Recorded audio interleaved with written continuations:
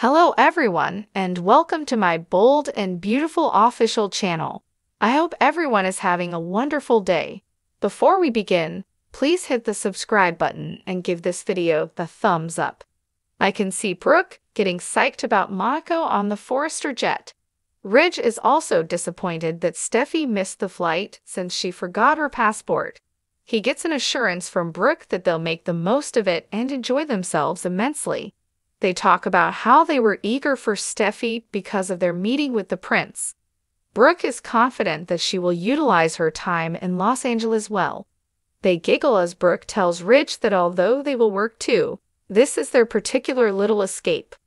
Ridge believes she will become a global sensation. I can't wait, squeals Brooke. Here we come, Monaco. Steffi and Finn share a kiss at Forrester. Though he is remorseful for what transpired, he is merely glad to be holding her. Hope waits at the door, listens, then steps in.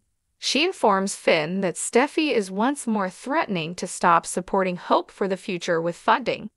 Hope is upset when Steffy being singled out for attention. Steffy argues she shouldn't have to take care of mom. It's her responsibility to keep the lights on. The past two quarters have shown declining numbers, with numerous losses. Although Finn acknowledges that it's outside of his area of expertise and that Steffy would undoubtedly make the best choice for the business, he can understand how it might upset Hope. Poppy is inconsolable over the scene with Will at Bill's house. Bill claims that his son will ultimately become calm. Luna didn't try to cause any difficulty, but she feels horrible too. Bill gives her a hug. He assures them that they did nothing improper and that Will's actions were inappropriate. They are aware that he has a lot on his plate. Bill contends that they are members of this family, not strangers. Poppy and Luna decide to visit the flat since they need to finish packing before the structure is torn down. Bill nods grudgingly. Poppy restates how totally he has changed their lives. Will surprises Katie with roses at the door of the design office. She gives him a hug and exclaims how relieved she is that he's back home. After dragging him inside, Katie scolds him for failing to call his mother. Will desired to take her by surprise. She claims that she really missed him. I missed you too, Ma, he scolds. Katie comments on the bouquet. Will claims that while traveling from his father's house, he picked them up Katie finds out that things didn't work out. He was not alone himself in bed.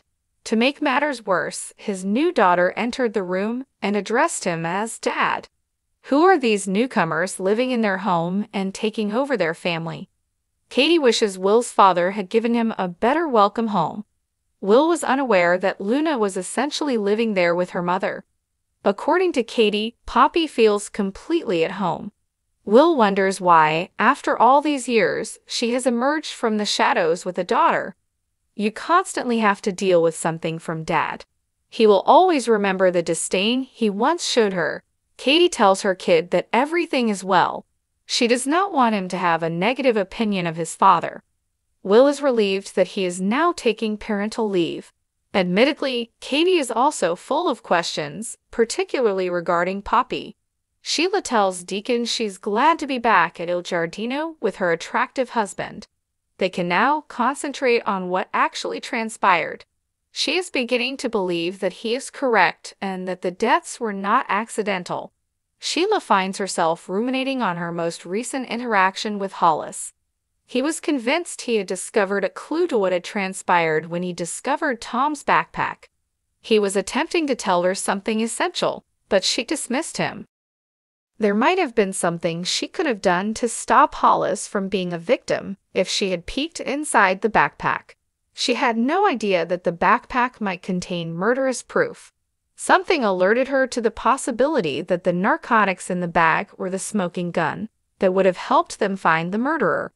She enters Poppy's apartment's bedroom to get a few items.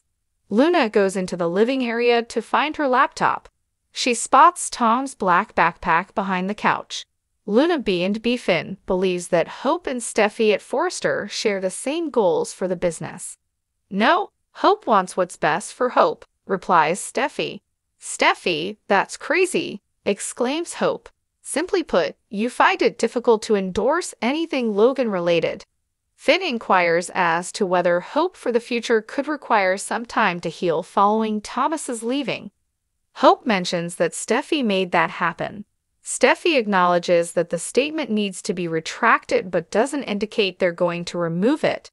Return the favor.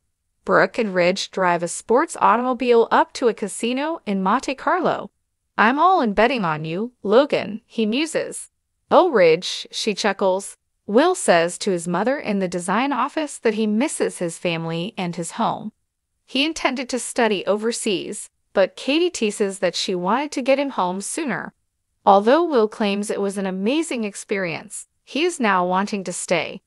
Katie assures him that her love for him is greater than everything. With Luna and Poppy in his life, Will is beginning to have doubts about his father. Katie gives him a hug while crying uncontrollably. Luna looks through Poppy's backpack in her apartment and discovers the package of letters that have been returned and are meant for her mother. She cracks open one and starts to read. She discovers with shock that the man is claiming to be her father. He wants to know his daughter, she reads in another. Luna never stops reading and opening new letters. It's so difficult to spend the holidays apart from my daughter. Poppy shows up and inquires as to her activities. These are letters from Tom Starr to you, Luna exclaims. He claims to be my father in a rucksack full of letters. Why does she own Tom's backpack? Poppy wonders. There, Luna discovered it. If her mother was aware of this, she queries. Poppy claims to have read them years ago, although he was a stalker and addict. She returned them. Luna exclaims, or that's what everyone thinks, implying that Tom Starr is the man who overdosed on drugs and died at Il Giardino. Poppy queries her words. Was Katie correct about you? Yells Luna. Have you murdered Tom Starr? Steffy tells Finn she received a text from her father at the Forrester office. They arrived in Monte Carlo earlier than expected. Finn is aware that she wishes she could attend. Hope is certain that they are being mesmerized by Monte Carlo's splendor. Hope complains that Steffy is targeting her personally. Steffy says it's her job to keep the lights on. She shouldn't need to baby her. The last consecutive quarter, the numbers have been going down, We've had many losses. Finn says it's not his field of expertise, and there's no question Steffy will make the right decision for the company, but he does see how it would be upsetting for Hope. At Bill's place, Poppy agonizes over the scene with Will.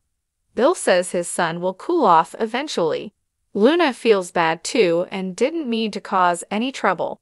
Bill hugs her. He tells them they did nothing wrong and that Will shouldn't have behaved that way. They know it's a lot for him to deal with. Bill argues they're not strangers, they're part of this family.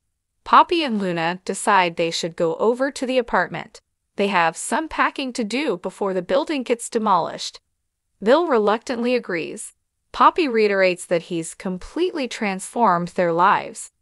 In the design office, Will surprises Katie with flowers at the door.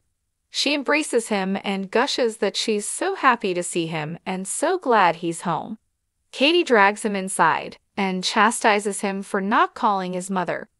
Thanks for watching, everyone. If you enjoyed the bold and the beautiful, make sure to give this video a thumbs up and leave a comment below with your thoughts. What do you think will happen next? We love hearing from you.